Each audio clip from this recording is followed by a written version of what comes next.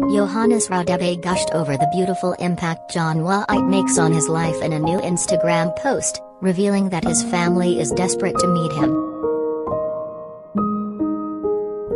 The Strictly Come Dancing professional dancer, 34, took to the photo and video sharing platform on Thursday to pay tribute to his dance partner, 32. The pair were gracious runners-up of this year's competition after Rose Ayling-Ellis and Giovanni Pernice lifted the glitter ball. The South African choreographer, who is now back in his native country to see in the new year, told his followers he had finally got round to watching the final.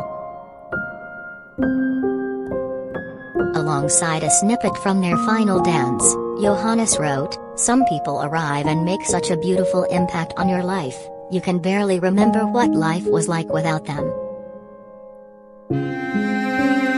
He then recalled the reaction that his family gave. I managed to watch the finale of Strictly with my family and friends back home in South Africa, it was lit. Sick, at John underscore Whaite they are desperate to meet you hun. The pride reflected on their faces for everything Webb accomplished is heartwarming, heart. The dancer continued, at Strictly delivers an awesome show every year but this season has been nothing short of revolutionary and to everyone involved thank you from the bottom of my heart. Prayer emoji. The aim has always been to inspire. Representation of any minority group in media acknowledges their existence in the real world, influencing society's openness and understanding of others which makes for a better world for all. Ear emoji. Thanks to everyone who tuned in every weekend, supporting and cheering for great Saturday entertainment aimed at bringing audiences some sparkle, joy and escapism. Christmas tree emoji. Have a beautiful crossover into 2022. I'll see you soon. X, sick, love Joe. Great British Bake Off winner love you Johannes. Can't wait to see you, heart. The baker shared a thought-provoking message with his followers as the end of 2021 rolled around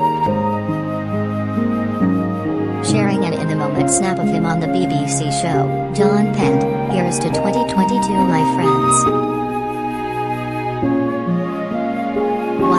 Future has in store for us, I hope we all navigate it with love in our hearts, with self-respect and with kindness.